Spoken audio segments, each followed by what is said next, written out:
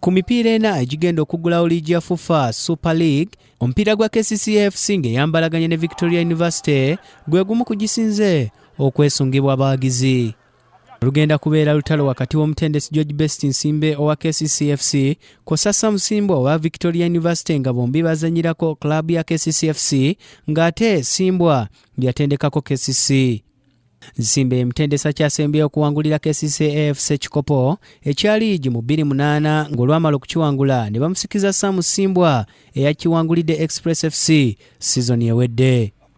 Buli omu ku batendesi bano ayagala kutandika na buwanguzi ng'abakccfc abali mu kuperereza brian omonya addemu abazannyire entegeka bakugitwala ku kisaawe kavumba gye bagenda okuba enkambi okulaba nga beetegekera omupiira guno. Olinga abamu kuba kyasitwagolinga obuzibu mbadde nfuna nti abasambi abamu batraininga abamu ne babula bwe buzibu mbadde nfuna ne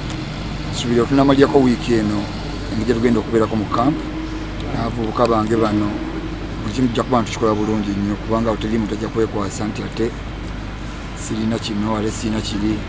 Manyi okubeerawo mu kampu kiba kitaasa ebintu bingi nnyo osanga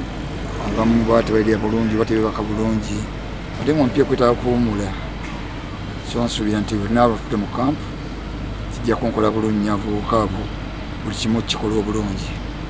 Yo victoria university ekyagenda maaso n'okuzannya emipiira egy'okwegezaamu nga balubirira okuyingira mu byafaayo okuwangula liigi ya uganda mu mwaka gwabwe ogusoose okugizannyiramu wabula leero bakubiddwa klabu ya vipers fc ebadde emanyiddwa nga bunnamwaya sawe nambole nga golo za vipers ziteebeddwa lesenguno losei enzaalwa ya nigeria kosa abe seguja so nga ate eya victoria university mu yokka eteebeddwa georgia bege ng'ebadde ya penalty